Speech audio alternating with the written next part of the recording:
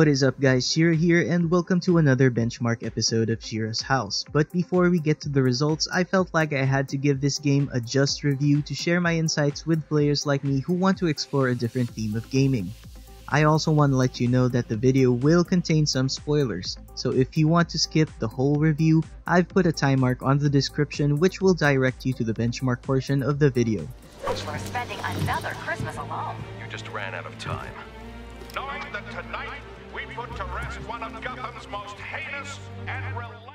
Batman Arkham Origins was released late 2013 and was included in one of the top games of its time. It is a very story-rich game with the events taking place 5 years before Batman Arkham Asylum.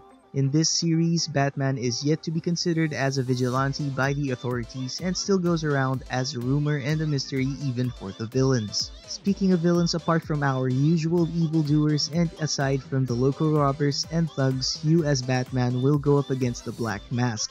This bad guy has ridden each corner of the city with crime, and as he finds you want to be a hindrance to his plans, he places a bounty on your head. The bounty catches the fancy of 8 notorious assassins and you'll be going against them throughout the game. Assassins, sir? As in more than one? That's right. And you heard this from the mouth of a crocodile, man? His name is Killer Croc. He's already behind bars. Oh, I pity his cellmate. I don't. Let's see what else is on the drone's hard drive. Each of them gets one of these envelopes. I need them delivered tonight. They're all hired killers, the best in the business. Black Mask isn't messing around. For several years, I've only played games with themes such as survival, MMO, and open world. So, diving into the world of single player games has pretty much been an adventure for me. This game in particular really got me hooked because it felt like I was watching a Batman movie and playing it at the same time. Being in the shoes of the main character and discovering his story will get you engrossed with the game and its storyline.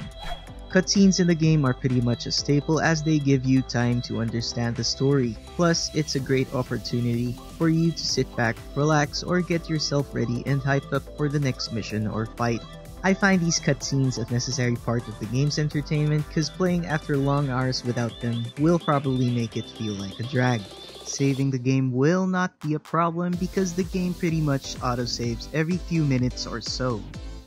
Venturing around the map, you will come across some crime scenes in certain places. Crime scenes are pretty much an interesting bit of the game. With Batman using one of Wayne Enterprises' latest tech, you will be able to review what happened a few seconds before the crime. The scanner will recreate the scene for you right before your eyes while you press the buttons for rewind or forward.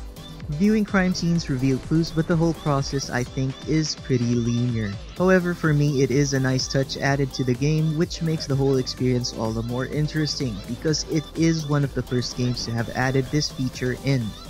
Aside from crime scenes, the game will also give you a bunch of obstacles in which you will be using Batman's equipment to solve them, like grabbing an item from a distance with your bat claw, pulling yourself across a sewage line, using your remote-controlled Batarang to turn a switch off, and many more. As you move along with the story, you will be provided with a list of your current missions, and each will be conveniently indicated on the map when you have finished one after the other. However, there will be much more to explore in the map aside from the main storyline, which will lead you with a bunch of several other things you might want to do before moving on to your main mission. Yes, this is the part where the other villains show you what things they have in store for you. So staying on one path can be hard to do unless you are systematic with your gameplay. So if you're not a very systematic player, I'd suggest that you clear one cluster of the map before proceeding to the main mission and continuing again with the side missions after that. The map does feel empty most of the time as you don't see civilians anywhere. All you'll be seeing as you glide through Gotham are thugs and cops. It's not the most interactive background for an open world game because most of us do like a bit of friendly or funny interaction with a few NPCs, but it does keep you focused on your missions. Boss fights will entertain you and get you pumped up as cutscenes will come in and out before you proceed to the battle. However, they can be challenging at times because you won't be fighting them one-on-one. Like most boss fights, there will be thugs and henchmen on the side serving as distractions, but these henchmen will vary in difficulty depending on what they have or what type of henchmen they are. There will be normal henchmen that you can counter-attack easily, henchmen with sharp melee weapons which you will have to dodge with a certain combination, I'm gonna have fun with you. tanky henchmen that you will have to stun to attack, and henchmen with guns which you will have to leap away from. This may sometimes feel as though it's too much to go up against, but what is a game without a challenge, right? That sweet feeling of victory after minutes of sweating will be worth it.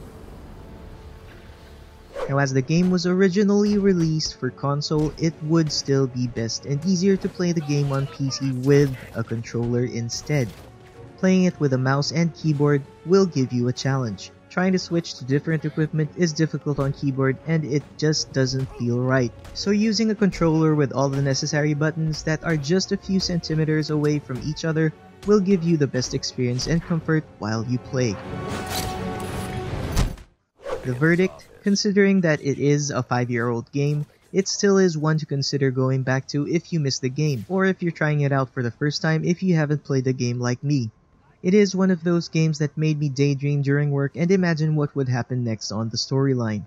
For the past couple of days, honestly, it's the only thing I could think of on the way home. With all things said, I'd give it a 4.5 out of 5. Is the game still worth playing this year and the next with a budget graphics card like the RX 560 4GB version? Yes it is. If you're wondering why, let's go ahead and move on to our benchmark results.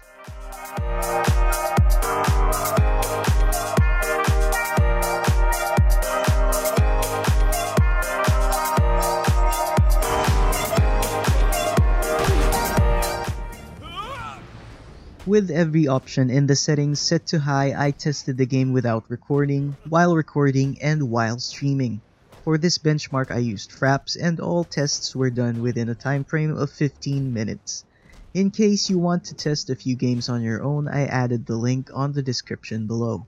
With my current system using an i5 7600 non-K, RX 560 4GB and 16 gigs of RAM, this is what we got.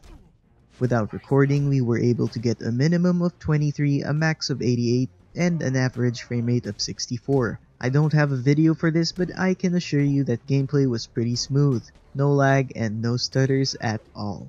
However, while recording we got a minimum of 13, a max of 88, and an average of 56 FPS. Still barely experienced any lag and gameplay was pretty smooth as well.